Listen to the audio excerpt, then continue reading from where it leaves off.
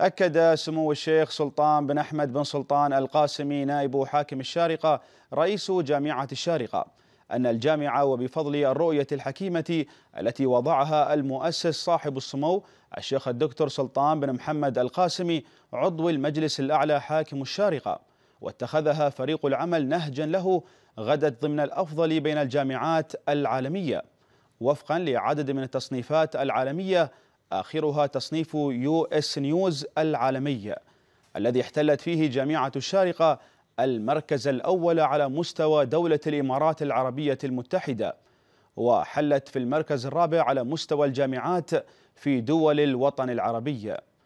وأشاد سموه بالقفزة الكبيرة التي شهدتها جامعة الشارقة في مجال الاقتباسات التي يستقيها العلماء والباحثون من المحتوى العلمي الخاص بالجامعة. حيث جاءت الجامعة في فئة واحد بالمئة وحققت المرتبة الثامنة والثلاثين وتعد من أكثر الجامعات اقتباسا في العالم. وأشار سموه إلى أن جامعة الشارقة جاءت في المركز الخامس والخمسين بين الجامعات في قارة آسيا بينما حلت في المركز 261 عالميا في القائمة التي ضمت 2250 جامعة ومعهدا على مستوى العالم. مشيدا سموه بجهود العاملين في الجامعة من مجلس أمناء وأعضاء الهيئة الإدارية والتدريسية والطلبة الذين أسهموا بشكل فعال في تحقيق هذا الإنجاز الكبير الذي يحسب لإمارة الشارقة. وأوضح سمو رئيس جامعة الشارقة أن جامعة الشارقة تفوقت على كبرى الجامعات العريقة حول العالم في العديد من الاختصاصات والمجالات الأمر الذي أسهم بارتقائها في الترتيب. ومن هذه المجالات العلوم والتكنولوجيا الخضراء المستدامة والعلوم الهندسية إضافة إلى علوم الطاقة والوقود والنشر العالمي. وللمزيد من التفاصيل ينضم إلينا عبر الهاتف الأستاذ الدكتور حميد مجول النعيمي مدير جامعة الشارقة. في البداية نبارك لجامعة الشارقة تفوقها المعتاد. بداية حدثنا عن تصنيف U.S. News العالمي وماذا يعني هذا التصنيف للمؤسسات الأكاديمية. شكرا جزيلا. السلام عليكم ورحمة الله وبركاته. الله. في الواقع بدأ تصنيف U.S. News في أول إصداره عام 1983 وكان تركيزه منصب على الجامعات الأمريكية. ثم في عام 2014 بدأ هذا التصنيف إدراج جامعات عالمية إلى أن وصل اليوم إلى تصنيف جامعات من 104 دولة. نعم. يعني وعدد هذه الجامعات أكثر من 2250 جامعة. في الواقع يركز هذا التصنيف في مؤشراته ال 13 على قوة وغزارة البحث العلمي للجامعات والمؤسسات الأكاديمية. ويستقي المعلومات لكافة هذه المؤشرات والأوزان من مصادر وقواعد بيانات عالمية مثل Scopus، SciVal، ISI إلى آخره. من دون تدخل الجامعات نفسها مما يعطيه مصداقية عالية جدا. وتعد المؤشرات والأوزان المستخدمة أشمل مما تستخدم في التصنيفات العالمية الأخرى مثل QS وال Times في قياس البحث العلمي والاقتباسات والاستشهادات.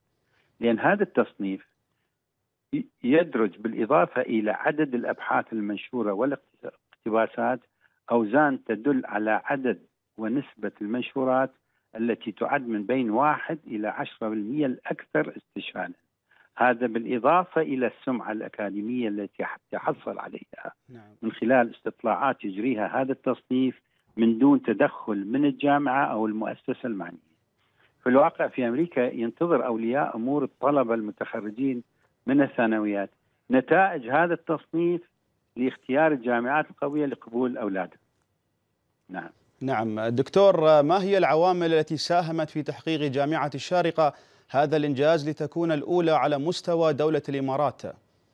شكرا، سؤال ممتاز هذا. شكرا. في الواقع في عام 2014 وجهنا الله يحفظه ويرعاه صاحب السمو الشيخ الدكتور الله يحفظه. سلطان محمد القاسمي مؤسس جامعة الشارقة بأن تكون الجامعة مؤسسة متميزة عالميا في البحث العلمي والتعليم والتعلم وتنفيذا لهذا التوجيه المبارك تمكنا وبموافقة مجلس أمناء الجامعة تأسيس ثلاثة معاهد بحثية الطب والعلوم الصحية والهندسة والعلوم والآداب إلى آخره و12 مركز متميز في البحث العلمي وبحدود 85 مجموعة بحثية في مختلف التخصصات ما شاء الله. بالإضافة إلى تطوير برامج الدراسات العليا ليصبح لدينا الآن 18 برنامج دكتوراه و57 برنامج ماجستير في مختلف التخصصات العلمية والتكنولوجية والأدبية بالإضافة إلى مختبرات البحث العلمي المزودة بأحدث أنواع التكنولوجيا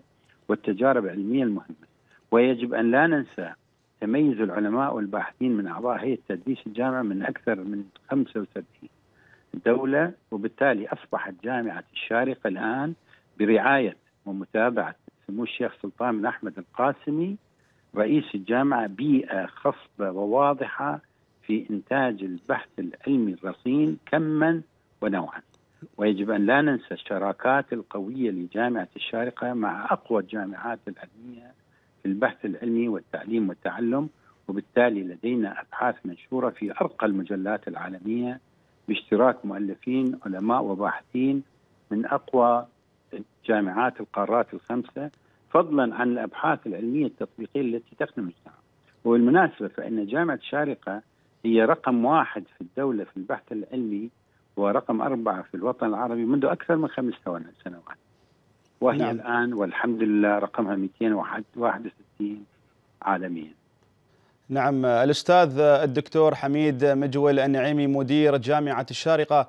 كل الشكر لك على هذه الإفادة. شكرا جزيلا وعليكم السلام ورحمة الله.